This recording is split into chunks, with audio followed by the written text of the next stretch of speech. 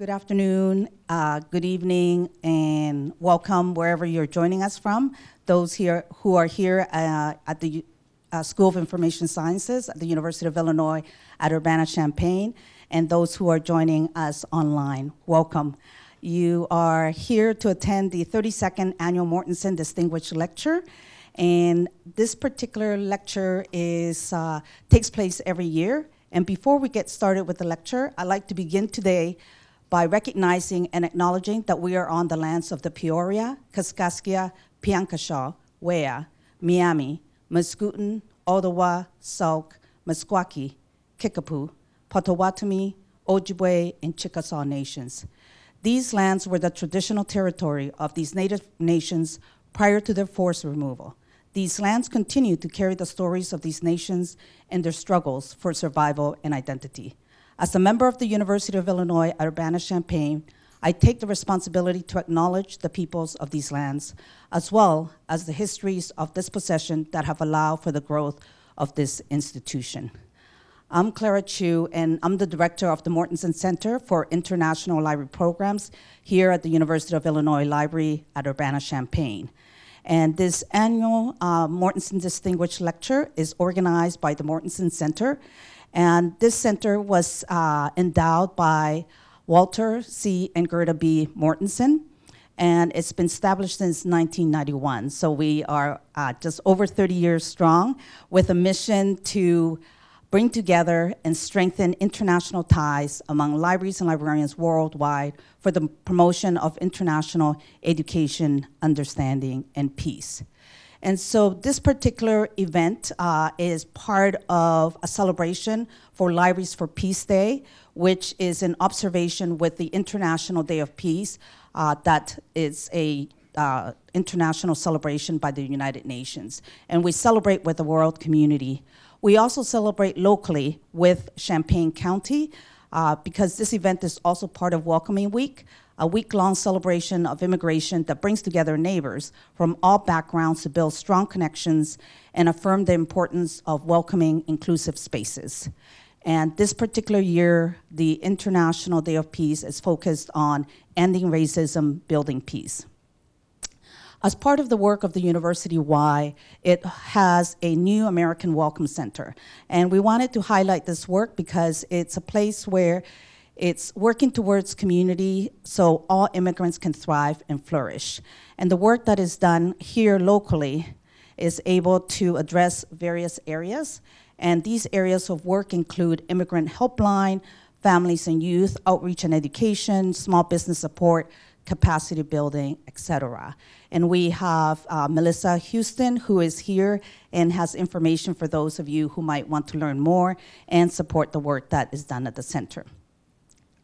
Also, although uh, the Mortenson Center is organizing this work, it won't be possible without the co-sponsorship of various organizations. And these include the Center for Global Studies through the support from the U.S. Department of Education's Title VI NRC program, the European Union Center, the Department of Journalism, the Mortenson Center, of course, the School of Information Sciences, and the University of Illinois Library at Urbana-Champaign. And now it gives me a great pleasure to introduce our moderator, Melita Garza. Melita Garza is an American journalism historian who studies news as an agent of democracy, examining the press's role in building civic agendas, including those that have perpetuated systemic injustices. Dr. Garza, the Tom and June Netzel Sleeman Scholar in Business Journalism at the Illinois College of Media, is the author of the award-winning they came to toil, newspaper representations of Mexicans and immigrants in the Great Depression, published by the University of Texas Press in 2018. The book, They Came to Toil, examines English and Spanish language news coverage of immigrants during the nation's longest economic downturn.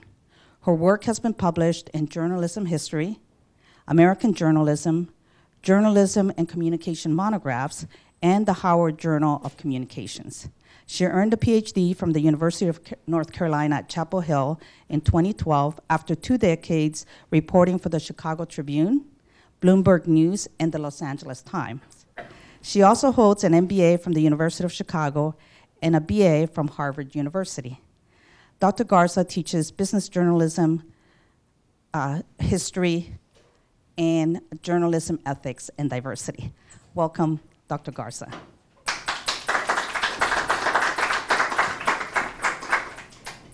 Thank you. Well, it's a pleasure to be with you today and to welcome our esteemed guest speaker, Mike Thomson. Um, I think it's important to note that not only is Mike Thomson the 32nd speaker in the series, he was also our 30th speaker in, during the COVID pandemic. So we're welcome and thank you for being here in person this time. So, um, so without further ado, Mike Thomson is a multi-award winning international correspondent for the BBC, and his work has taken him to many troubled places around the world, from continents in Middle East, Africa, and Asia. He's covered conflicts such as um, found in Syria, Iraq, and Afghanistan. He's been to uh, cover devastating uh, events such as the uh, Haiti earthquake, uh, and some might say um, the devastating event of some U.S. presidential elections as well. Um, he's covered the fall of Gaddafi and the death of Nelson Mandela. So, um, needless to say, he's many awards, and some of these are the Radio Story of the Year for um, his book, Syria's Secret Library, and I highly recommend it. So um, please read it. That was the subject of his 30th um, appearance th- appearance at the 30th lecture here. Um, also, he is was News Journalist of the Year in 2012, and has won uh, the Sony Radio Academy Awards and Work Correspondent of the Year. And um, I think we will not have time to hear him speak if I continue with this page-long list. Um, so I think. Um, in addition to Syria's Secret Library, I would like you to also note he is the editor of the Raqqa Diaries Escape from Islamic State. And um, this latter book is about a young man's day to day experience of living under the terrifying Islamic State group. And I think, um, of course, um, he's based in London, where he lives with Jane, who is also here and uh, also has a very illustrious career. And um, so, thank you. Here you go, Mike.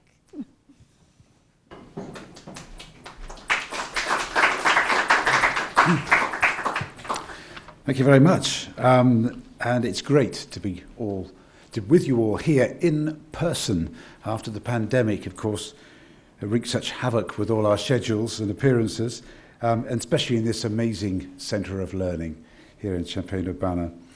Um, much journalism around the world uh, focuses on talking to or talking about political, military and other leaders, film, pop and sports stars and all kinds of celebrities. Yet rarely the comparatively powerless people who have little or no voice in the world. And this is particularly the case for those in developing countries where democracy is either fragile or non existent, along with the rule of law, decent education, and any real say in what their leaders do. Enabling such people, often plagued by war and tyranny, to tell their stories giving voice to the voiceless empowers us all. Not only is being heard cathartic for those who've lost so much, it also helps us to truly engage with their plight. And while we may all be told that hundreds of thousands of people in faraway places are being butchered or oppressed, that's often not enough in itself. We need to feel, to identify, to think that this could be us or our brother, sister, mother, father. And when that moment happens, differences of country, creed, or culture melt away as we connect with a thread of humanity that connects us all. And thankfully, these epiphany moments, when broadcast on TV or, or radio, are no longer limited to those who see or hear a particular broadcast at a particular time. Now, thanks to big advances in digital technology, such precious, often unretrievable voices are no longer lost to the past. Instead, they live on online and in numerous digitized archives around the globe. And archives are something that this great institution here in Champaign has in glorious abundance.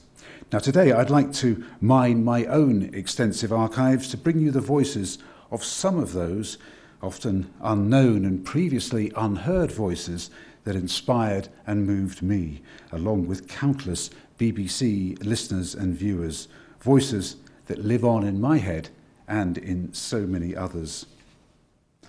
Now, I'd like to start by taking you to Ethiopia in East Africa, where in 2002 a worsening drought was threatening the lives of countless people across this parched and poverty stricken country.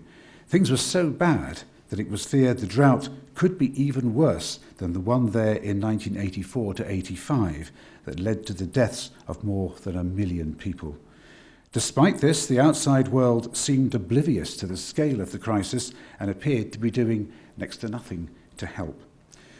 I travelled to the country determined to highlight this impending disaster, having been told that there was still time to prevent it if help could be generated quickly. It was while covering the crisis that I came across someone whose voice was to help save hundreds of thousands of lives. Yet this wasn't the Prime Minister, the head of the UN, or other VIPs I, in, I interviewed. It was Fayo Haji, who was just eight years old, the son of peasant farmers, who in the ordinary course of events would have been unseen and unheard. Here is a short extract from my report around 200 kilometres south of the capital Addis Ababa when I came to meet young Feo. Sitting on a rusty can a few yards away, an eight-year-old boy is drawing shapes in the dust with a small stone. A fly settles just under his left eye, but Fayo Haji seems resigned to its presence, just like he is to the hunger that gnaws at his stomach. I know I'm going to die, and so are my brothers and sisters, because we are all so hungry. My brothers and sisters just stay in our home now. Do you really think you're going to die? Eh. Yes. What have your parents told you to make you feel better?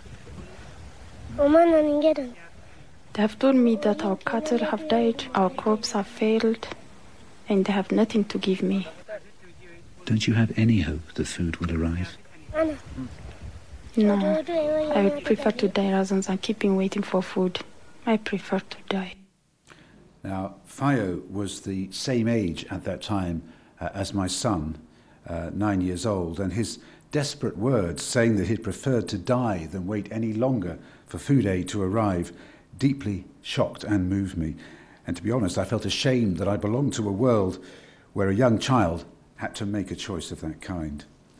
On being sent an advance copy of my report, the former rock star Bob Geldof, who had years earlier organised the world famous music appeals festivals Live Aid and Band Aid um, after the Ethiopian famine, returned to campaigning, quoting young Fayo's words. And around $800 million worth of food aid from around the world poured in, and the looming catastrophe was largely avoided. The following year, I returned to Ethiopia to see if I could find the boy whose anguished and brave words had helped save so many. Had he survived?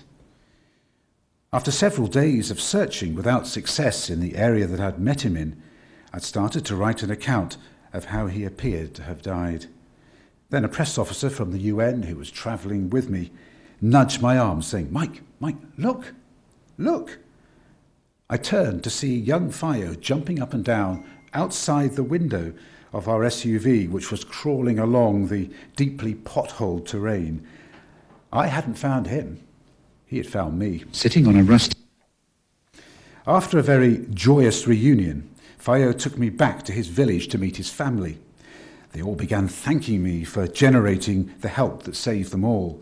But I pointed out that the person they should be thanking was the small, wiry boy in front of them, their own son. It was his words, not mine, that inspired the world to act. Now, I'd like to go on now to uh, the Democratic Republic of Congo, a nation whose recent troubles have seemed as big as this vast West African country, the size of Western Europe. To give you some idea of its plight, more people died in Congo's last wars than all the soldiers killed in World War II. Yet, despite this fact and the ongoing bloodshed that continues to stalk this nation, we in the West rarely give it a mention. Now, it was there in the east of this violence plagued state that I met a young woman called Zawadi Mongane. in a hospital for the victims of sexual violence. People in the area's thick forests are preyed upon by numerous armed militia groups, and that was the same when I did this report, as it continues to be now. Uh, the, the group was one of the most notorious, and it was known locally as the Interahamwe, and you'll hear that word mentioned by the interviewee Zawadi in just a minute. Now, I must warn you that some of what you're about to hear contains descriptions of appalling violence, so please do be ready for that. This is Zawadi's story. Kisi kwetu lala. I come from the village of Ninza, and there's a lot of insecurity in my village, so we prefer not to spend the night in our homes because we're scared in case the Interahamwe come. So at night we go into the forest and we sleep there. But my problem started when one night we went to sleep in the forest and the Interahamwe attacked us, and there were 50 of us, and they took us away.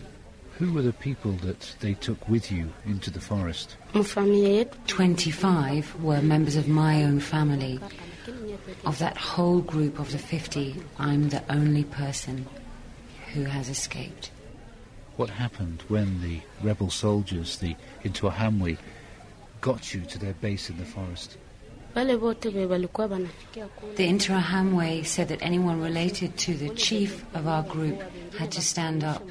So about 20 people stood up and the Interahamwe killed them right there in front of us. Balikuwa banabachomeka kwa ile They had bayonets and they pushed the bayonets through the side, through the ribs of the people. What happened to you then? Mie bie bilinifikiaka kumi na After they killed the members of my family, 19 members of the Interahamwe raped me. And then they killed two of my children in front of me. And then they took the baby off my back and they tied a rope around its neck. And they forced me to pull the rope and kill my own baby. I was with my brother and my sister in law. They cut off the hands of my sister in law and they tried to force my brother to rape me. My brother said, You're my sister. I cannot rape you. If I rape you, I'll die. And if I don't rape you, they'll kill me. So I prefer that they kill me. So the Interahamwe cut his head off. What did they do next? Sa nilitorokaka ile wakati In the end, only three of us were left alive out of the 50 who were captured. And the Interahamwe told the three of us to go and start digging in the soil because we were going to grow cabbages. And we were digging, and then another militia group from Rwanda came, and they said to our captors, What are you doing with this filth? Why haven't you just killed them? Why are you still holding them? And the Interahamwe who held us said, Oh, don't worry, they're digging their own graves now. You finally managed to escape. How did you do that? Kisha tuende shota. Two of the new group of Interahamwe who'd come across us took us to go and fetch water. But I was in such a bad state that I could barely walk, so I lagged behind the group. And one of these new guys from Interahamwe, he said to me, even if I let you go now, well, you're in such a pathetic state, you'll never survive. You'll die anyway. So why don't you take that path over there? If you follow the stream all the way, you might get somewhere. So I took that path and I carried on walking, but I could hardly walk and I had cuts all over my feet and legs. And at one point I was so exhausted that I just had to collapse. Nikamuita sa nilimuitaka nikamuita muluga ya When I woke up in the morning by the river, I saw a young boy of about 15 years old fetching water. So I- I showed myself, and at first he was very scared and he wanted to run away. And also he was ashamed for me because I was completely naked. For the four months that the Interahamwe had held me, they kept me naked. I didn't have any clothes. And I said, No, please take me. So he took me to his village, even though I was naked. And from afar, we could see the men of the village cutting wood. And the boy, he gave me something to cover myself up with. And then the men made a sort of stretcher from the wood. And they put me on the stretcher and they carried me to another village. You've said that the rebels killed your children, killed members of your family. Do you have anyone left? I had four children, and now I have one. One of my children survived because he wasn't captured that day, because he was staying with a friend of mine. He wasn't with us. So now I have him, and I also have one of my brother's children. If these men are ever caught, what would you like to happen to them? pale juu niko mkristo Because I'm a Christian woman, I can't meet evil with evil. But the only thing that I can ask you for is to make these Interahamwe go back to Rwanda. Even if I stay alone in my own village, at least I'm with my Congolese brothers and sisters, and I know that people will look after me. But please, I'm asking everyone to send the Interahamwe back to Rwanda. Now, um, during that interview, the woman here, Zawadi, became so upset at times she was breaking down in tears. Uh, and a colleague of mine was also finding it very difficult, who was translating uh, to continue. Um, and I asked the doctor concerned, would he ask her in Swahili if she would like to stop this interview because it was all too much for her. And she started banging the table and saying, No, no, I want to be heard. This is what happened to me. I want people to know. And she said, You said earlier you wouldn't use my name or photograph. You use this, this face. You use my name. Uh, they're not going to make me invisible after all they've done to my family. Now, following the broadcast, the BBC's flagship Today programme got what its then editor described as one of the show's biggest responses in its 50 year history.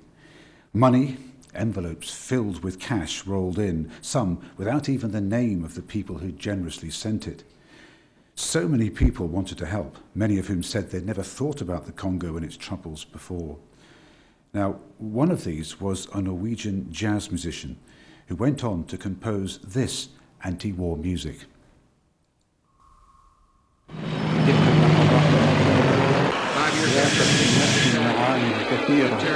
يصعب وصفها ولكنها أنتجت شعورا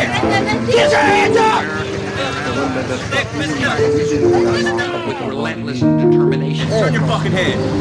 You fucking there. We're on the offense against the terrorists using every level. Nothing is less than complete وأن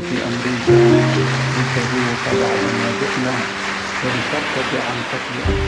Luka Veseltov, based here in the US, was so touched by Zawadi's gentle voice, with its lack of hatred and bitterness despite all she'd been through, that he dedicated this track called Why to her on his then latest album. Now, if you listen carefully, you can hear underneath the music the Swahili words from the interview behind that music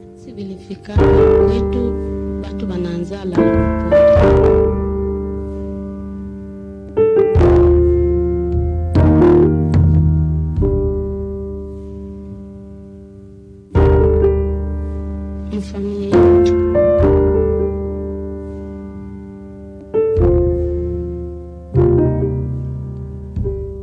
Now, of course, no broadcast can ever stop a war by itself, but the kind and astonishing reaction from the international community following Zawadi's words greatly helped her recovery.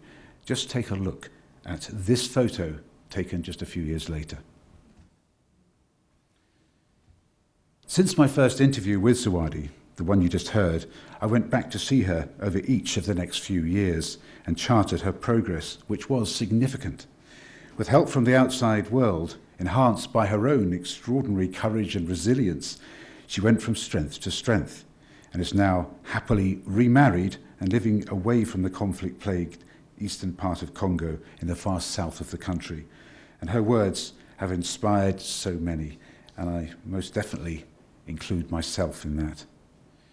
Whenever I can, I do my best to travel to the countries where I'm reporting. Not only does this give me more information and the ability to confirm the validity of people's accounts, it also makes a huge difference interviewing somebody face to face, as against over a phone line or on social media.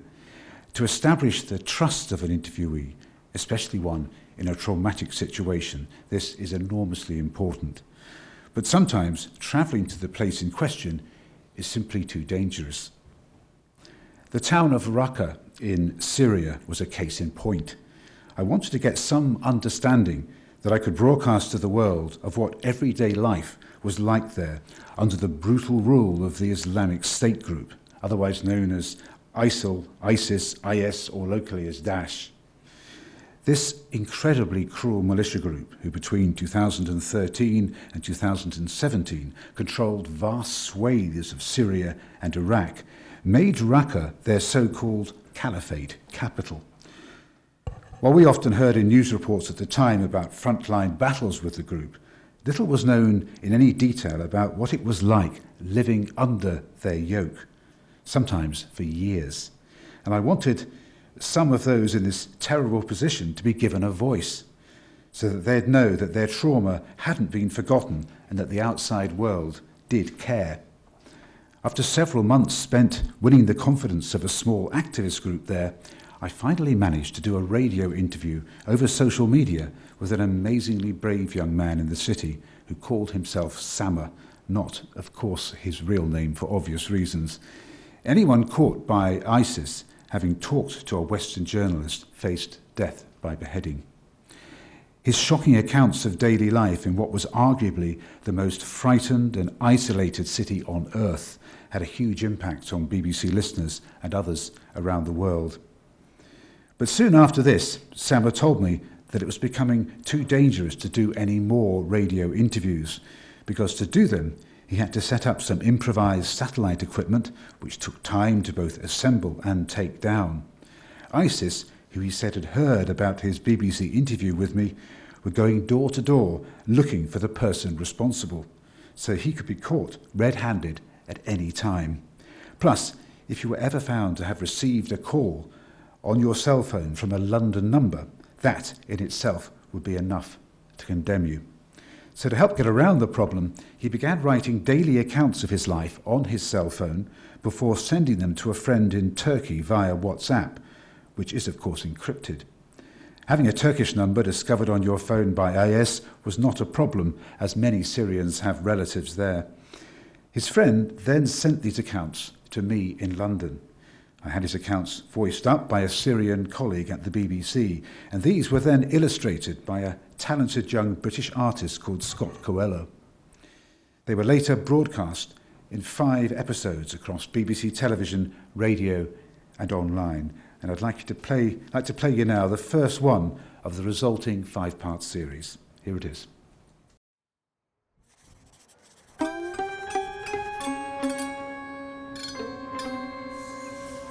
It's Friday. This is the day we used to gather in the street after prayers and have long chats.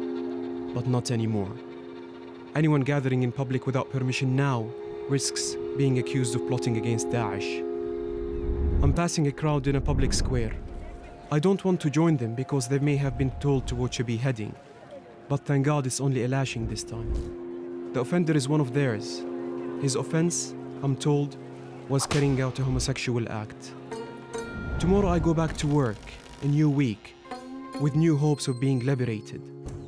But I want to tell you about when Islamic State first entered my beloved city.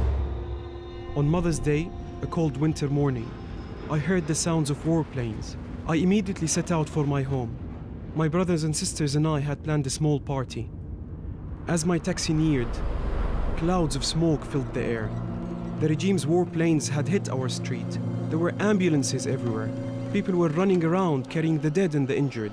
One of my neighbors told me that my parents were hurt and had been taken to the general hospital.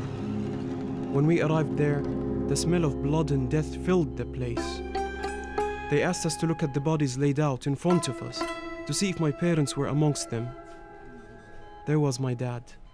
His body was covered in shrapnel wounds. Your mother is being treated in there, a voice said quietly, but don't go in yet. Two hours passed. Finally, a doctor came out. I told him that I was her eldest son. I've managed to save her life, but she's very ill, he said. A neighbor of ours, who runs a fruit and vegetables shop, offered to help. From now on, he said, you can work for me. I accepted unconditionally. A few weeks later, I was working in the shop when I heard gunfire and the boom of heavy weapons outside. Everyone was running on the street. My friend gripped my arm and said, Daesh had taken over the city. Soon after that, a man I'd never seen before shouted at me, Hey, you, smoking is not allowed. Another cried, Hey, you, why is your wife not wearing a veil? This is forbidden. I heard loudspeakers in the streets saying some people were about to be executed. A group of blindfolded young men stood in handcuffs. In front of them, a masked man began reading Hassan, fighting with regime forces. His punishment, beheading. Isa was a media activist, accused of speaking to foreign parties. His punishment, beheading. A man with a sword carried out the punishment. As I walked down the road, cursing out loud, a group of Daesh's religious police rushed over and grabbed me. They took me to their headquarters. I tried to reason with them, but it was no use. You were cursing out loud. Your punishment is 40 lashes. I learned from Sama's diaries that uh, the most absurd punishments were carried out against people, uh, in addition to the ones you've just heard about, including one man who was given 50 lashes for apparently having trousers that were too long. They should apparently, according to uh, ISIS, be above the ankle.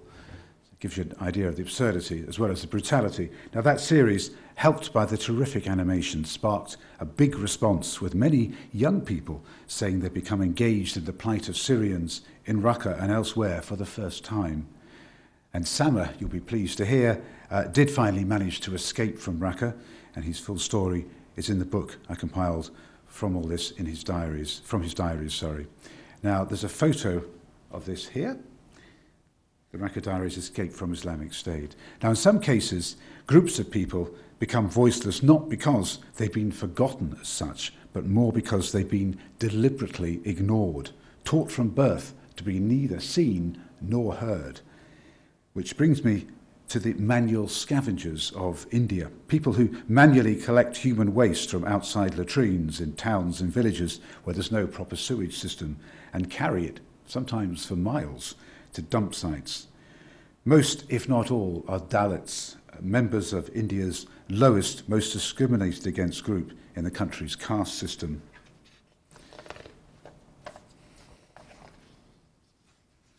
Uh, they do a filthy, horrible, yet vital job that nobody else wants to do, which serves the community they live in. Yet they are almost completely ostracized. Manual scavengers and even their young children live like lepers, shunned by all. It's almost as though people consider them inhuman, with no thoughts, opinions, or emotions worth hearing. The work of manual scavengers was banned by the Indian government many years ago, but demand remains, as does this kind of the kind of excruciating poverty that forces many people, virtually all women, to do the job. I travelled to a rural area of Bihar state in northern India to meet mother of seven, Lakshmi Devi, who's been doing this appalling job all her adult life. And here's an extract from my report for BBC National and International Radio. Two women of about 40 years old are stopping at each house they come to and collecting human waste from trays beneath hole in the ground toilets. Now, the taller one, Lakshmi, carries the contents and they're visibly dripping down onto her purple sari. The smell is hideous, and I'm several yards away. I first started doing this work with my mother when I was 20 years old. It was terrible. I wasn't sure that I could carry on doing it. It was so disgusting, such a dirty, horrible job. I soon learned that the only way to do it was to hold my breath for as long as possible. The worst thing is that the baskets we carry the waste in often leak and drips down over your clothes. The first time this happened, I thought I was going to be sick. But my mother told me this is the only way we can earn money for the family, so I carried on. Do any of your children do this job? All my seven children are boys, and they have found work clearing out sewage tanks, so they don't do this job. It's usually women's work in our society. If I had a daughter, I would rather that we all die of hunger than allow her to do the work I do. I would rather that my children did anything but this, anything at all. How are you treated when you go out into the village nearby? How are you treated by other people because of your job? Does it make a difference? इतना शर्म की बात है हम लोग चाहे उस दिन कि हम दरिया में जाके मर जाते Oh, yes, when people see me in the street, they cover their nose and say, There goes a manual scavenger. It makes me feel so embarrassed and ashamed. Sometimes I get so desperate, I ask God, Why was I born into this community, destined for a job like this? I pray that my children don't end up like me and are treated more like human beings. When you go shopping in the market, how do the traders treat you? Do they serve you normally? No, not at all. Traders don't let me near the food they sell. I'm not even allowed to touch the vegetables. They say that people like me will pollute their vegetables and nobody else will buy their stock if we are seen handling anything. I have to point to what I want and they'll put it on the ground for me and leave me to pick it up from there. I turn to God and ask Him how it can be that I'm considered so foul that people pour water over the ground I've walked on to clean it. I ask Him this often. Does it affect the way people treat your children? Because of the caste I'm born into and the work I do, the parents of other children are told not even to touch my sons. They tell them that if they touch them by accident, they should immediately wash to purify themselves. Whenever they tell me this has happened, I long to do other work, anything but this. How does this affect your children? How do they cope with that? My children come home and ask me, Mother, why do you do this work? Look how it affects us. They often cry and feel very unhappy, but I tell them that I'm doing this because it's the only way to get food for them. I had wondered whether airing a topic like this on the BBC's flagship breakfast programme might be a massive switch off for listeners, um, having them choking, so to speak, on their cornflakes. But um, I needn't to worry because Lakshmi's story, though grim in the extreme, touched many people. Uh, letters asking how they could help her, and others uh, saying, calling on British politicians to put pressure on India's government to help people like her, came flooding in. And when I told Lakshmi about all this, she was stunned, amazed, and heartened that anyone, especially people from rich Western countries, were at all interested, never mind moved by what she had to say. Now, on to a group of long marginalized people who've been described as the most persecuted on earth. I'm talking about the Rohingyas, predominantly Muslim people who've lived in Rakhine State in western Myanmar, formerly known as Burma. It's a name that I'm sure most people here will have heard of, that's the Rohingya, due to the terrible things that have happened to them over the last decade.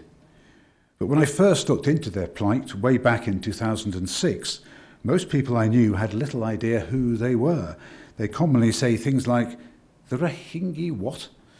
Yet their very name was soon to become synonymous globally with words like genocide, massacres, and mass graves.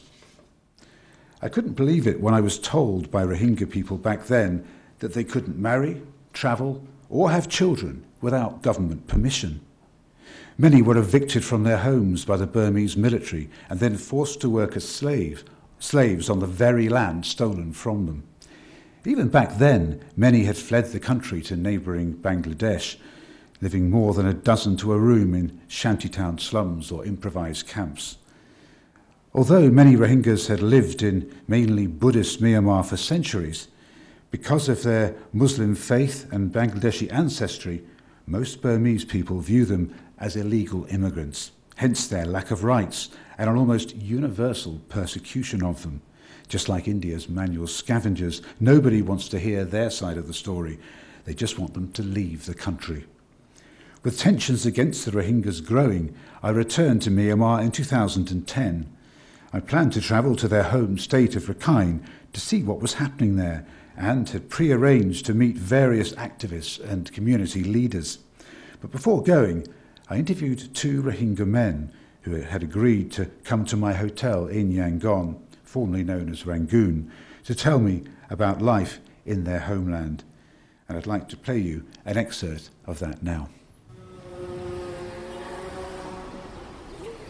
Towering above me here in central Rangoon is one of several mosques in the city, and you can probably hear the call to prayer now.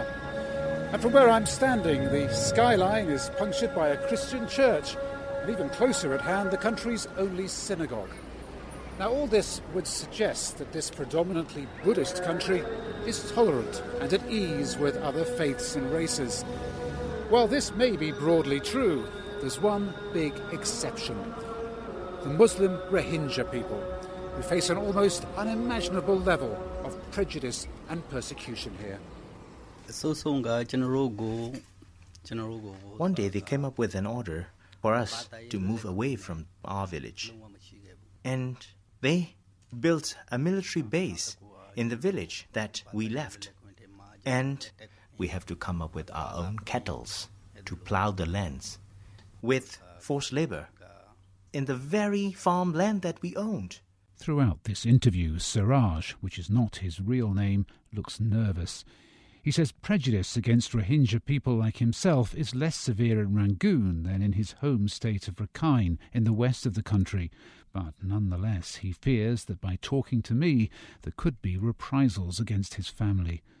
Next to him sits 58 year old Atu, again not his real name.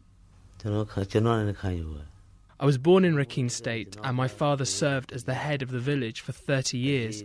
His father, before him, was the village head for 35 years, but they don't recognize me or my children as citizens of this country. Atu goes on to tell me that, like other Rohingyas, his daughters had to seek permission to get married or face up to five years in jail and are forbidden by local authorities from having more than two children. When my daughters applied for permission to get married, the form they had to sign clearly stated that they would be charged in court if they have more than two children. They were made to sign those papers. What will happen to your daughters if they do have more than two children, both to her and to those children?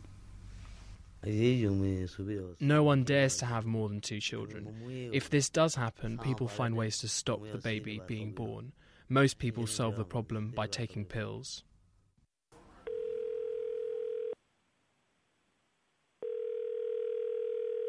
Well, to see for myself the worst abuses Rohingya people are facing, I'd arranged to travel to Sittwe, capital of their home state of Rakhine, or Arakan, to meet two families there.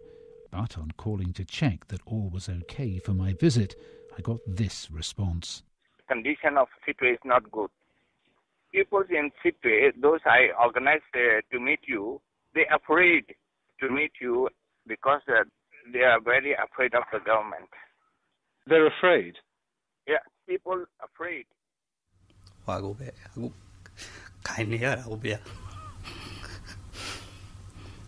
Back at my hotel, Siraj becomes tearful as he talks about how his children, who like him were all born in Burma, and face a future of state backed prejudice. And he's not surprised that Rohingya people in Sittwe are too frightened to talk to me, and is now wondering whether he should have done either. When we entered this hotel, I could spot some intelligence people. They could also spotted us, and I could read their eyes. And if they want to, they can simply ask this hotel to give them this CCTV record of our presence. If this happened in Yangon, you can simply imagine how even worse happened in Sittwe. And two weeks after my aborted trip to Sittwe, violence exploded there. after some Rohingya men were accused of the rape and murder of a Buddhist woman. An orgy of looting and burning of Rohingya homes followed, and many were put in internment camps. In 2015, the violence against them became even worse, with tens of thousands forced to flee the country. And by 2017, around half of Myanmar's one and a half million Rohingyas had fled. Rohingya people are, of course, only one group of humanity that have been forced to become refugees. In their case, due to rampant and extremely violent persecution. Others around the world have fled wars, such as 13 million Syrians, that's half the country's pre war population, now refugees inside their countries or beyond its borders. Ukrainians have become the latest example of this, following Russia's invasion of their country. Others still, faced with a lifetime of abject and hopeless poverty, have fled in search of a better life for themselves and their children. A few years ago, I was called by a Ugandan priest who told me that the man you can see in this photograph had been kidnapped and was now being tortured by his kidnappers. Philemon Semere is a refugee from Eritrea, a grim, impoverished dictatorship in the Horn of Africa, where military service for young men can last for a decade or more if they survive that long. He'd been captured by his kidnappers while trying to cross from Sudan into Egypt. Every day they would torture Philemon and other captives held with him, and then they'd telephone his family back home, demanding money. The idea was that his screams of agony would compel his distraught, desperately poor family to give all they had left to free him. The kidnappers had taken Philemon to their base in North Sinai, a troubled, virtually lawless area of Egypt that borders the Gaza Strip. It's now home to many Islamist extremists and various kinds of criminals. Despite many months of talking to the kidnappers by text and phone, the priest I mentioned earlier felt his efforts weren't helping at all, so he asked, Could I cover the story? His hope was that publicity from this might help force the Egyptian government to rescue him and others kidnapped with him. I agreed and asked what more he could tell me about the kidnapped gang. Amongst the information he gave me was the kidnapper's phone number, which he'd used when trying to mediate with them. I decided to give them a call. Over the following, following days, I must have rung the number dozens of times without any answer. But finally, through. Hello. Hello. Who are you? I'm calling from the BBC, the BBC in London. I'm asking to speak to Philemon. Philemon? Yes. Okay, I am secretary to Philemon to discuss with you and uh, speak with you, okay? Hello, hello. Hello? Is that Hello, Philemon? Uh, yeah, I'm Philemon. I understand that you have been Uh, kidnapped and are being held hostage. Uh, they will be die to me. If you if you have some money, please share help me. The- Like How much money are they demanding from your family? twenty-five thousand dollar lift. Twenty-five thousand dollars. Twenty-five thousand lift. That is a lot of money. Yeah, it's it's more money. Yeah, please help me now. Yeah. And when are they saying this money must be paid? In five days. Five days. What will happen to you if there is no money? If if not money, they will be di- they will be die to me. They will kill you. always always cut your hands, cut your uh, foot, cut your uh, fingers. What, what conditions are you in, Philemon? Condition it's bad. It's bad life.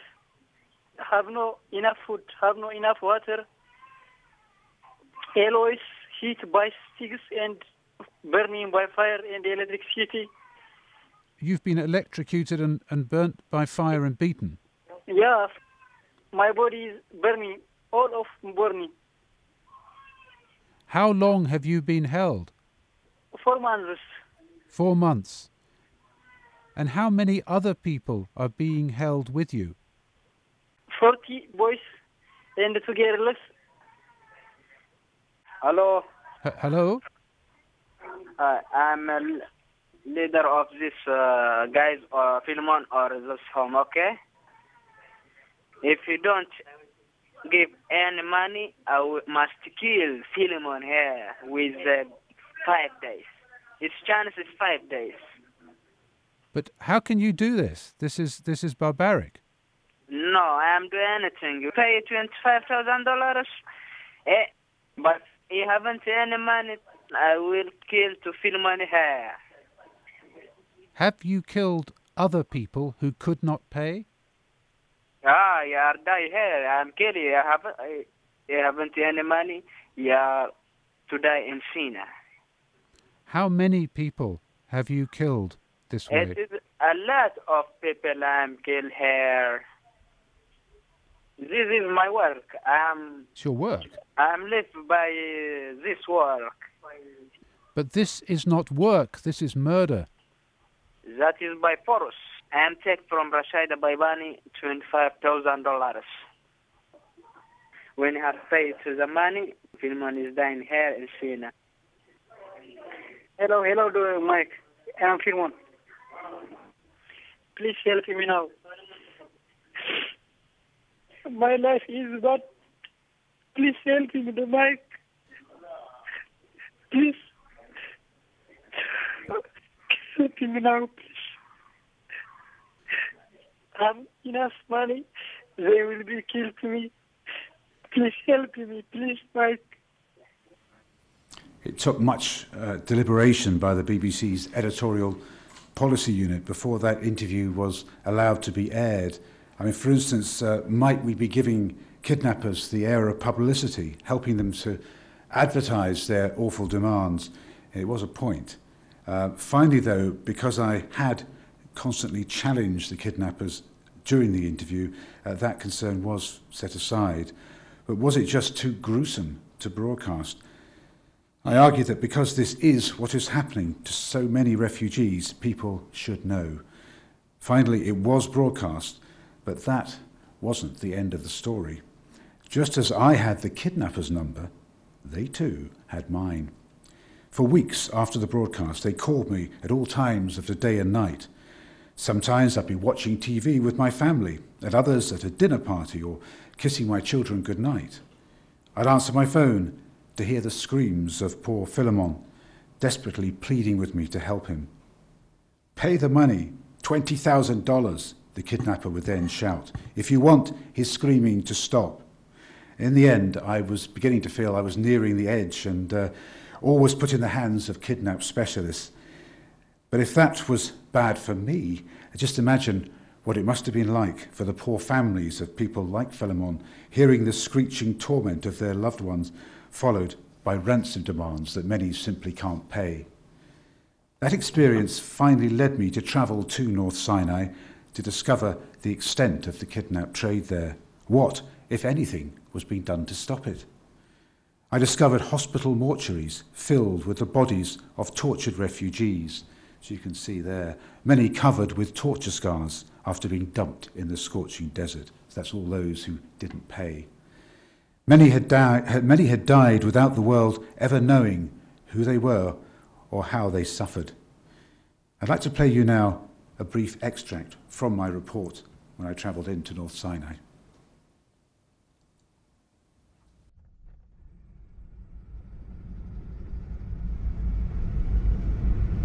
I'm driving through the barren and largely lawless region of northern Sinai in the direction of Egypt's border with Israel and Gaza.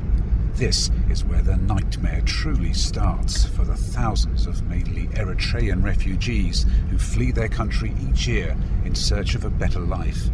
Held hostage for weeks or even months, they're often tortured and beaten while kidnap gangs try to extort ever growing ransoms from their families. I've just arrived at the home of a local Bedouin leader who's at the heart of efforts to rescue kidnapped victims who've managed to escape the clutches of rogue members of his community. and I'm told that Sheikh Mohammed Al Maniri has just rescued some hostages a short time ago, and that they're inside his house now, being protected by members of his clan. So I'm going to go in now and see if I can talk to some of them. A young woman now has just lifted up the back of her top to reveal some really quite awful scarring all over her back. The kidnappers would make me lay on my back. Then they would get me to ring my family to ask them to pay the ransom they wanted.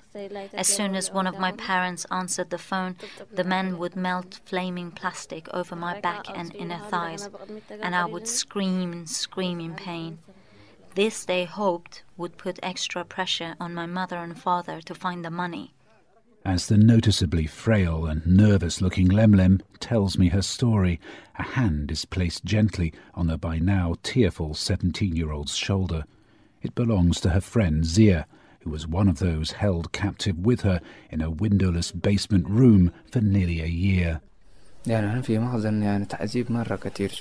They had about four or five of us tied up together and they'd pour water on the floor and then they'd electrocute the water so all of us would get electrocuted at the same time. They would starve us, they would burn us, they wouldn't let us sleep. Nearly half of us died from the torture and from the starvation. When you were nearing the end of that year in horrendous conditions, were you starting to lose hope that you'd leave there alive? Because there was so much torture, death would have actually been a, a relief. A lot of us were actually hoping for death because that would have been an escape for us from the torture. Uh, a little good news amongst all that. Um, Philemon did finally, uh, was finally freed. Um, a ransom was paid, some by his family, who were left completely impoverished, and he says now uh, they sold all they had, all their land, their house, and then now they have to work as labourers on the land which somebody else now owns. But at least he is now free and he survived. There does come a time, of course, when we're all voiceless, when we've passed away and become part of history. Remembered, no doubt, by our families, but not necessarily the world at large. This can even be the case for people who've lived through extraordinary times. Their rich experiences of value to us all in danger of being lost. All of which brings me to a thought I had way back in 2005. At that time, there was just a handful of people left alive who had fought in the First World War, the war to end all wars that sadly didn't. Every one of them well over 100 years old. Among them, the inspiring Harry Patch, aged 111. It was clear that in a matter of months or even weeks, all these people could be gone the horrors they'd witnessed so long ago and their thoughts about it forgotten. All we'd have is second hand accounts in history books. So I set out to interview as many of them as possible. Happily, they all agreed to speak to me, and it was genuinely a real privilege to meet them. Their minds were sharp, their sense of humour still strong, and their memories clear as a bell. Perhaps too clear in some cases, when it came to the carnage that had scarred their early lives so many decades ago, which tells you much about the terrible damage war does, internally as well as externally, and that time can't always heal. I'd like to play you now the final extract from a radio report which features two of those remarkable veterans, Fred Lloyd and Harry Patch. Both sadly died soon after the interviews they gave me.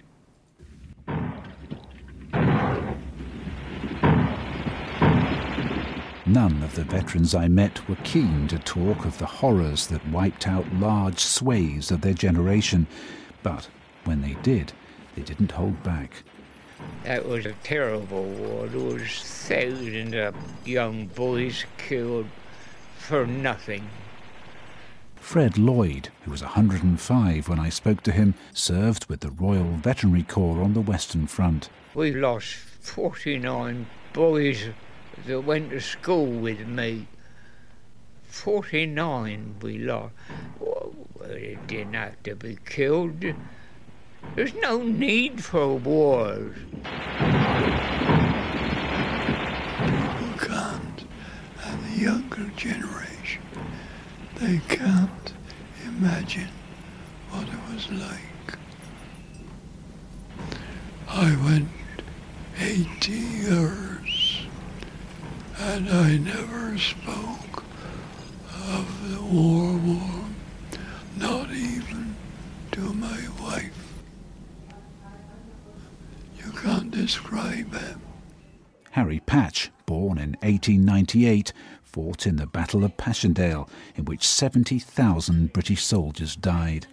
Speaking to me, aged 107, he described how meeting a German veteran of the same conflict brought home to him the absurdity of war.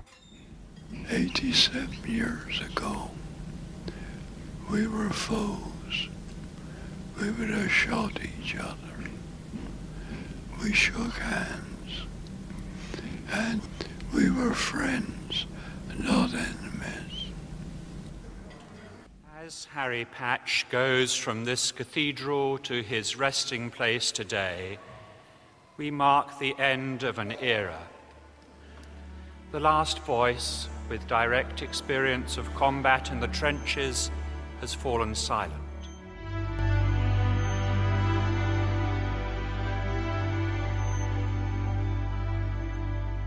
But the thoughts of 111 year old Harry Patch were given new life by the band Radiohead, who, inspired by his words in that interview, put them to music.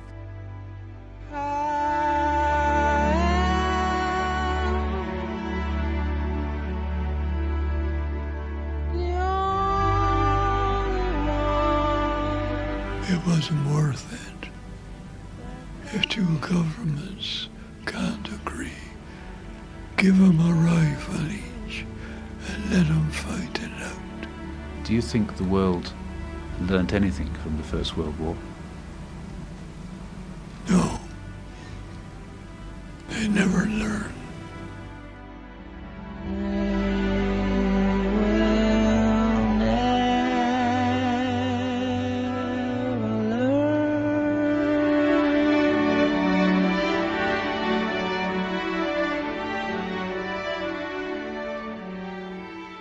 Thank you all for listening and letting me be heard, along with all the voices I brought you today. Uh, you've helped every one of them uh, back to life, and it's been a, a real pleasure and a privilege talking to you all. And I hope that before I leave this remarkable institution that I'll have the chance to meet some of you personally. But uh, once more, thank you.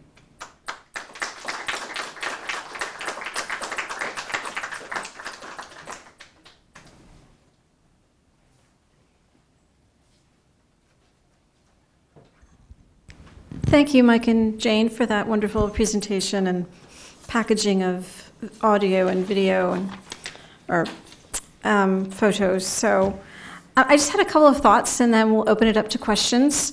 Um, I was struck at the beginning of Mike's talk when he spoke about um, bridging differences of country, creed, and culture, and I think we can see in his coverage that he's done that. And I think also his giving voice to the voiceless, he, and he does it in a way that reminds me very much of a, a, another journalist who operates in a different medium. Um, uh, in this case, a, a, photojournalist, a graduate of the University of Illinois, who um, left us in 2013. And I'm speaking here of uh, Wayne Miller, who was the um, member of Alfred Steichen's World War II Naval Photographic Unit, two time Guggenheim winner, and, um, very, and involved in a, the largest photo exhibit of its kind called the Family of Man exhibit. And what, what uh, Wayne Miller said was he said, once you can sensitize yourself to what is going around, on around you, so you are not trying to express yourself, but you are trying to express what the subject feels. Once you can really feel that, it's amazing what you can see. And I think it's so true in Mike's work because it's amazing what you can hear.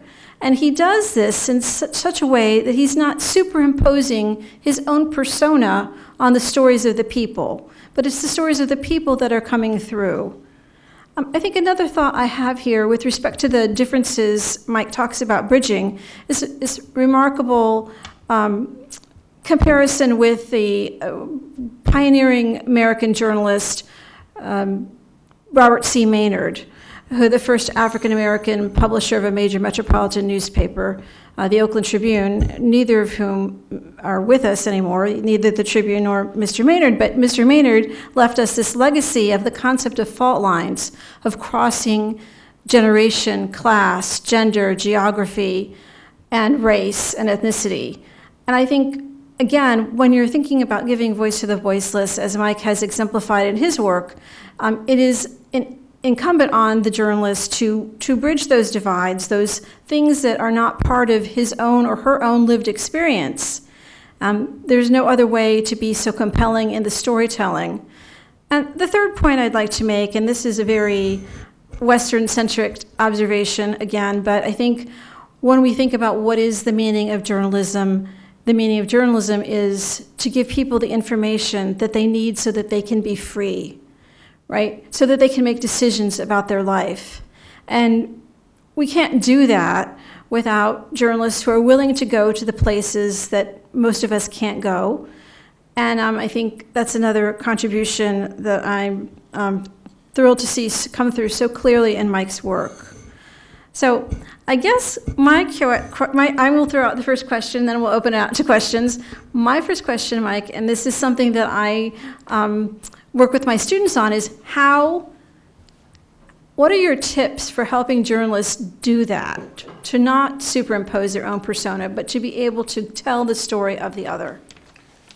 Uh, well I, th- I, think it's um, it's one of those things that um, people very often when they start in broadcast journalism particularly uh, they want to be able to um, uh, be recognized be, be taken note of. So they very often will uh, insert themselves heavily into what they're doing uh, so that people will remember them, I suppose, and they make a mark. Um, and even some quite veteran presenters, one of which I can think of but won't name, who uh, was famous for, for, for questions that might last a minute or two before the person got a response. Occasionally that response was no, which, which is always quite hilarious. Um, but I think it's always trying to think, what are you there for? You're not there You're not the story. You're not there to tell people about you or even your reactions to the story. You're there to bring the story of the person you're talking to's uh, thoughts and, uh, uh, uh, and uh, beliefs. And uh, that's a crucial difference. And I think that applies whether you're doing international journalism, journalism like me or whether you're, you're doing local or, or, or national. Um, you think you're there to, to ask the questions for people that are, are watching or listening that they would like answered. And also to get to feel you're getting a feeling of the person you're talking to. And you give them the confidence to think I want you to tell me your story. I'm not telling you how to tell it. I'm not taking your view on what you should say or what you shouldn't say. Uh, I just want you to to tell us what you think and to try and make the people feel that what they're telling you is, val- is valued is, is worth saying. Because so many people who are used to being voiceless they're convinced that why would anyone including uh, earlier on when I mentioned the manual scavenger in particular, um, Lakshmi. I mean, she, she, she kept saying to me, but no one wants to hear what I've got to say because there they don't. Uh, but I said there are many people within your community who do want to hear what you've got to say, as well as many outside of it too, internationally. So I think that's the big thing I say. Just remember that you're there to, to bring the, the, the, the, the thoughts and the people, the story uh, that, you're, that you're seeing to your audience. You're not there to bring yourself to the audience. Okay, thank you. Is there a question from the audience? We have a question um, online um, from Ray James. And uh, Ray uh, asked this question, and I'm repeating it just for the, um, the tape recording. Are you ever brought to tears by the stories of people you interview?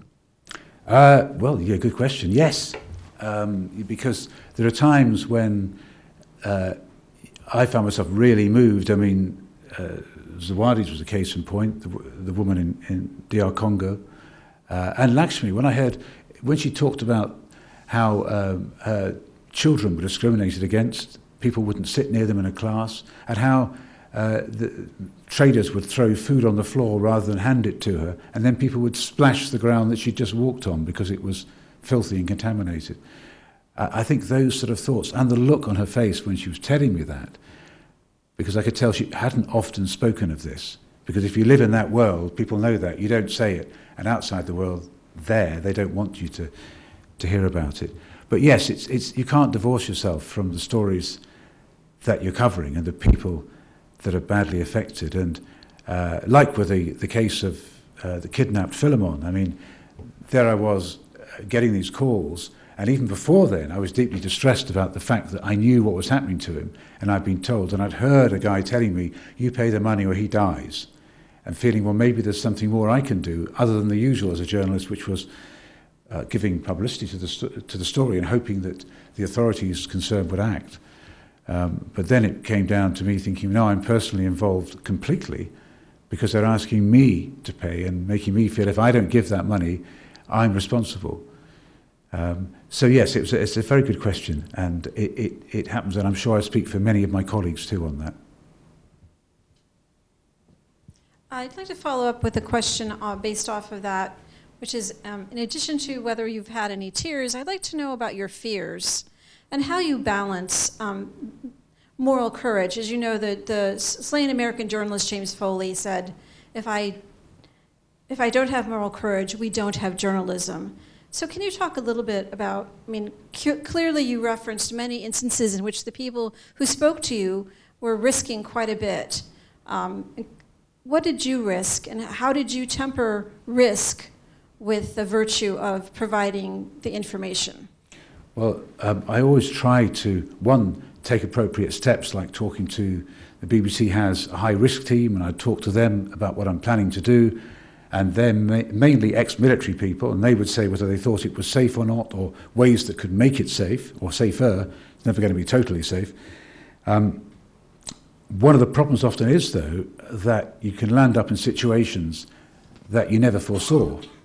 That you know, you, you like one case in, uh, again in Congo, where I'm following the Lord's Resistance Army, the LRA, uh, and I was doing a series called In the Wake of the LRA, that I found I wasn't in the wake of, I was pretty much abreast with them. Uh, because I hadn't, I'd taken the word of an international aid agency that, that they were very recently in that area, but they'd left. Then I find when I'm talking to the people, and these are, these are a group of people who, for those who don't know, who, uh, who've been running amok since uh, the 90s and mutilating their victims, uh, kidnapping children, just grotesque and uh, moving people's noses and lips and I mean just really really awful. I suppose a Christian group amazingly and a bit like you are you wonder with Islamist groups where does Islam or Christianity feature in either of these cases uh, or these beliefs? But in that case I found myself in a village that was um, when I talked to the people they looked really worried. They're pleased to see me. And then they thought well what are you doing here? Uh, and after a conversation where they told me that they're having the LRA coming into their, their houses at night and they can't go and get their crops because they're too afraid. And I said, well, where, where are, where are the LRA? Where are these, these militia? And they said, over there, behind those trees. That's, the, that's their line. Um, and cases like that where um, you find yourself in uh, terrible danger, and or, not just me, but others I was with, and um, facing a you know potentially horrendous fate. And uh, in that situation, I wouldn't have. If I'd known they were actually going to be surrounding that village, I would not have gone. Because um, you're always trying to have measured risks. Um, there's other cases where, if you're on the front line of a war zone, you can never tell where a shell's going to land, which of course anybody who, there may be people here in the audience who've been in the military and, and know, you know, fighting as soldiers and would know that. I mean, for journalists too, you don't, you don't know, you're wandering the streets and you're, anyone now in the Middle East particularly, where I've spent a lot of time, people see you as the target more than the soldiers because soldiers are guarding you, so they think VIP, target number one. Uh, and also they're aware of kidnapping. So I think I'd say you've got to have courage, but you've got to also think there's no point in dying for a story unnecessarily. Particularly if you die there, you won't bring the story back. It's completely pointless, apart from the damage it does to your family. So I would say, yes, I take a lot of risks uh, and have done regularly, but I try to keep them measured and never, you know, ridiculous. I want to butt in as, as Mike's wife and just confirm that you are a terrible journalist if you can just ride this kind of stuff oblivious to the pain and suffering. Of course, to be good at his job, Mike is acutely sensitive, and all these uh, traumas that he experiences, Uh, he takes, he brings home to a certain extent in, in his body. And you know, he would wake in the middle of the night and rush to the toilet. And I think, oh no, he's having another Congo nightmare. Or we would be in the middle of supper and he'd break off. And it's a, a, a teacher who he has got to know who is trapped in a basement in the besieged city of Daraa and doesn't think, thinks that, that this is the goodbye voicemail that she is, is leaving. So there is a very human cost, and I think that those around Mike, uh, those who, who love him and know him, had to make the decision somewhere down the line that you, you can't stop him doing what he needs to do. It would be so much worse to keep him chained up on a comfy sofa watching episodes of The Simpsons. yes, people have often asked me what it's like for your family, and in fact, I had a my oldest friend, who I, I, I, knew at school, who one night after a couple of glasses of wine said to me, uh, "You know, you're a real, um, you're really a selfish, very selfish person." And I said, "What, what do you, what do you mean? Why are you saying that?" And he said, "Because you go off to these dangerous places, and if you're, if it's your, if you're, you enjoy thrill seeking, white knuckle rides. What about your family back home? What's going to happen to them?" And uh, he later admitted to me that he, he could see a flaw to what he was saying. He said it was just in the mood he was in. Um, but it is obviously something that he, I think all people, all journalists who go to places we've, we've discussed, um, and, and, and there's times when I've, when I've literally been in a situation, not only been, I've been arrested many times, I've also been in at times when I'm, I really don't, don't, well, I'm not sure, but I don't think I'm going to be coming out of a situation. I think it, likely I won't. And it's those cases where, I, where you think to yourself, why did I do this? Rather than feeling, oh, all journalism is worth it. You've got to, yeah, yes, you, you, you've got to take the risks. You've got to, you know, that's what gives the world journalism. I was thinking, what the hell was I doing? You know, and you'd give anything not to be there, but you can't help it. You're there. Can I add on that one that um, I was um, reassured that once Mike thought he was safe out and out of danger, so he took off the tag. Journalists in very difficult places have a kind of tag like you might tag a cat you know, so you know where they are. So if Mike was kidnapped, they could trace him from a, it would give a beep. Thinking that he was going home next day, Mike took off his, his ankle tag and wandered out into the streets and, and accidentally photographed a secret installation and was being arrested and about to be bundled into the back of a unmarked van. Um, and in an altercation between his, his kidnappers, Mike's overriding thought was not, oh dear, I'm being kidnapped, but oh dear, how am I going to explain to my wife that I took the tag off? Yeah.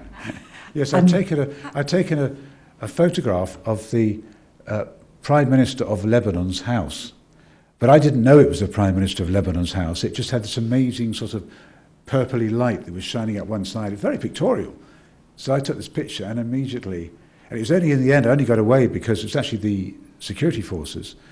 And when this guy, this bull-headed looking uh, thug of a guy who was the one in charge turned up, these other soldiers had been holding me there and saying I couldn't leave because I, uh, and they were going through my camera looking at all these pictures, some of which I shouldn't have taken on the front line uh, with Syria.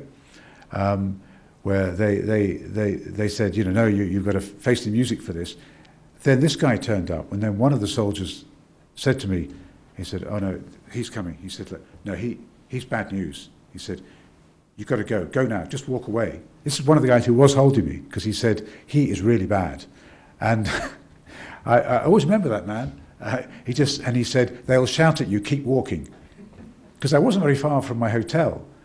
Uh, and he said, it'll take the boss guy a while to realize that you had been arrested to know who you are, that you should be stopped. So they said, well, you know, we'll take our time telling him. But uh, yes, it's, um, it's one of the things, I think the, the people also that, that I find myself, in many cases, I would say genuinely the privilege of interviewing, who, people who are under the most incredible stress and strain, that unlike me, they can't leave after a couple of weeks. They, they live in it. And you see some of the most amazing generosity and politeness and, and care for each other and even for me, which um, is just remarkable. And it's so inspiring, you know, and I think so many stories which are in difficult, dark places, sometimes they are, they are really inspiring. If, I, if the whole thing to me was a litany of uh, people being killed, shot at, imprisoned, tortured, and nothing ever happened beyond that, I wouldn't be doing the job. It would just be too awful. It's just that so often people uh, manage to get through this, um, even if they don't, they've done amazing things for other people and, uh, and help their community. And, you know, we all wonder if we were in this situation some of their, they are in, could we possibly measure up to the, to, the, to the way they behaved? And, you know, one can never be sure. Uh, Mike, I'm thrilled to hear that you escaped from, from this situation in Lebanon. Don't get me wrong, but my immediate next question is what happened to the photos? What happened? What happened to your photos? I mean, the journalist in me wants Oh. to know what happened. Well, to my photo, uh, yes. Well, um, the soldier that said I could leave had had my camera, and in it there was all these pictures, not just of the Prime Minister's house, but of the front line.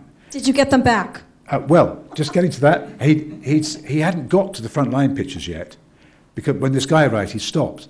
And I thought if he saw those, because it was, that was officially forbidden, you weren't allowed to, to take those, um, then I would have been in real trouble. But, but uh, yes, he gave, I was walking past, I put my hand out. It chanced in my arm, really, because they could have said, look, you're lucky enough, I'm letting you go. And he just, towards the camera, and he just put it in my hand. Because otherwise, I was worried that I'll get back to the hotel, then they'll see these pictures, and they, they can see what I've gone. They'll come in after me. So I thought I need the camera back, more, more for that reason than actually worrying about the camera or the photos.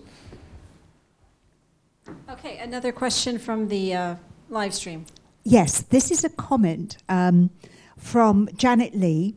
Um, she would like you to uh, reference the atrocities such as Tigray. She's um, in Ethiopia, uh, which has been under siege for nearly two years, where the internet is cut off, banks are closed, and journalism is not allowed, banned by the Ethiopian government. Is this story on your agenda, Mike? And can you shed some light on what's happening? Well, I wish I could shed, shed more light because because it seems that this person here is, uh, was it Janet? Janet Lee, yes. Yes. Well, Janet, well, Janet seems fairly well informed as it is.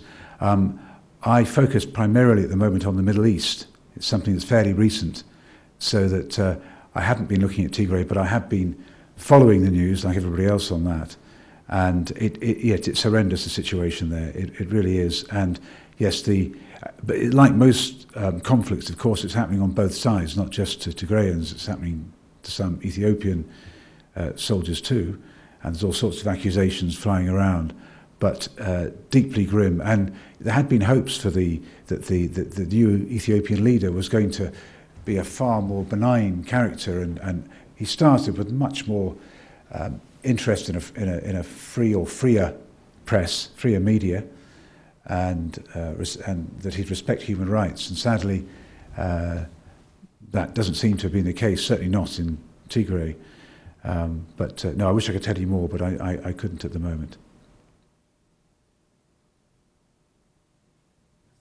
Okay. Um, a question from the library and archival perspective, and the talk uh, focus and all your work has focused on immortalizing the voiceless.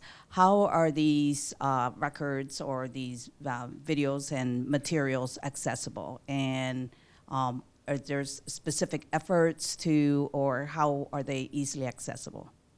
How are they accessible? Well, um, yes, that's, that is a fair, a fair question, Clara. Um, because it's quite difficult with some of the some of the more recent things. Yes, that'll be online. If people searched, it's like the Raqqa Diaries. You'll find you find those. Just Google those. Um, quite a lot of it will, will be, but older material, uh, anything over 10 years old, is probably, it'll be in the BBC archives, but I'm not sure that uh, it'll be accessible online, um, which is a shame, uh, because I think, was, one I said earlier on, things are categorized, they are kept, and fortunately they're not lost, but it's then getting hold of them if you're you know, a member of the public and you want to listen or watch something like that. I mean, newspapers, it's a bit easier. So many newspapers will have their archives. You can you can easily go into those, and I've done that myself. And going back, you know, 100 years or more. Uh, but broadcast is trickier. Um, uh, but I think some of the material I've done would be on independent programs on the BBC's websites. And if you search under my name and that story, it would probably come up. But it's just when things were pre digital, not much was going online. There wasn't really much online either, uh, not that long ago. So that is, it's not easy. Um, but it's anything that anybody desperately wants access to, uh, I could I could try and arrange something. So if they came via the university, I could look at uh, providing it for them.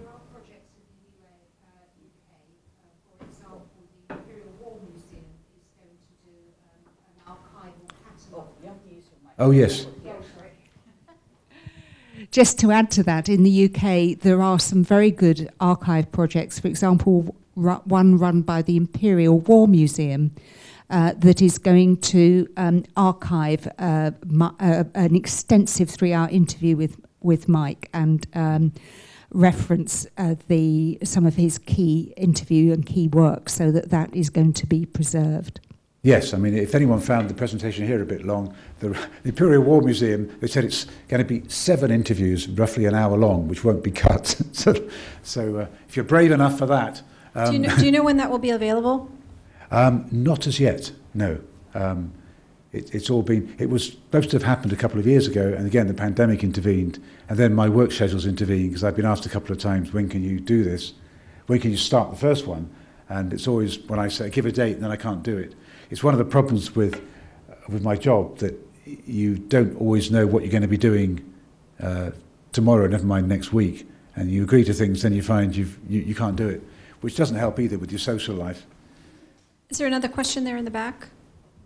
Okay. Yeah. Hi. Um, my name is Joshua Harris, and um, I'm following up on this on what Clara and, and uh, your wife had just been speaking of. Um, as I am head of the media preservation labs here at the University of Illinois. And I'm going to kind of, first off, tell, um, thank you for your ex- extraordinary um, uh, talk today. It was fantastic, really fantastic. Um, but I would like to kind of use this opportunity to, to highlight exactly what you've just been talking about, which is the difficulty of the life after these objects are broadcast and making sure that they are preserved, and that's our job. And I work with all the old tapes and all these types of things, and we're we're working on a project right now for a, a British film company that found a collection here at the University of Illinois.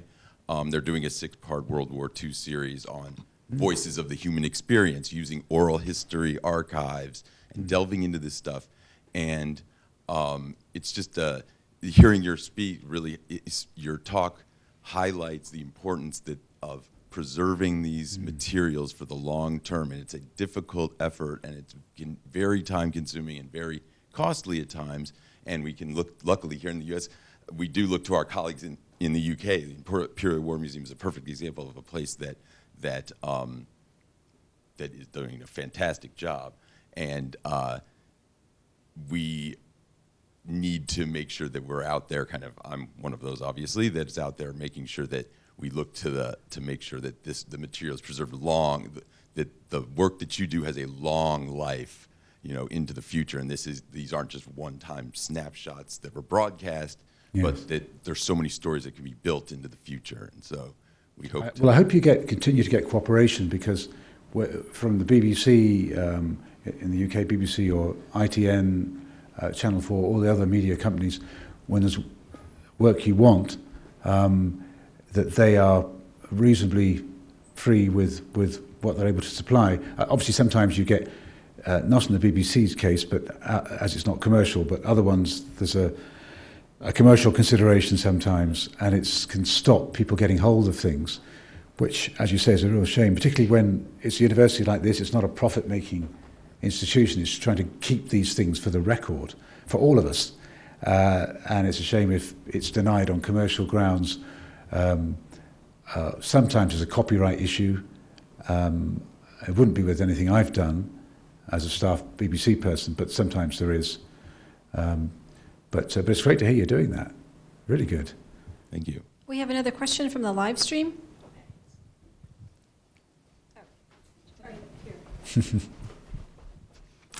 Yes, we do. It's a long one, and it is from, and I apologise if I pronounce this incorrectly, Sakit, Sakit Pahiraju.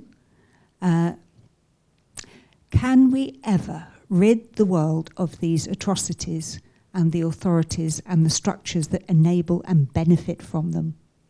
Is there an organic way to change that in the very place and with the very people whose whose communities this happens to. I suppose it has to be through telling the story and trusting the humanity still left in the community to hear and act, or to put pressure on those authorities to stop. But do you think there's another way? I don't like, and I don't want to be cynical. I guess I'm just curious what your personal view is and what can come out of your work is from the special perspective of your line of work and courage that has helped shape this work. Well, thank you, Sakit. I, w- I wish there was another way I could think of. I think it is important that we all take ownership of trying to stop such things because uh, not just those in the countries that Skeet mentioned there, you know, the, the variety of countries where it's all happening, but also outside. Because so often people who are immediately affected have so little power because um, without a proper system of government or judicial system, um, no accountability very often, it'd be very difficult for them to, to bring change, although they ultimately they, they, they, they can, and we've seen that with the, in the Middle East, although sadly much of it was rolled back again, but with the uh, Arab Spring. But there are people that have done amazing things, uh, and in Zimbabwe there was a, a, a big uprising, and, and that sadly landed up with not an awful lot different to Robert Mugabe. But, uh, but yes, the, people sometimes do take fate in their own hands. Or Iran, we've had two very big uprisings, the Green Revolution, uprisings there. Sadly, didn't succeed in the end, but gave it a really good attempt. I think otherwise, all we can do is all make a noise ourselves to, to beat the drum for injustice where we know about it, where, we've, where we think something should, really should be done. And hopefully, our own politicians can add weight to getting, getting change.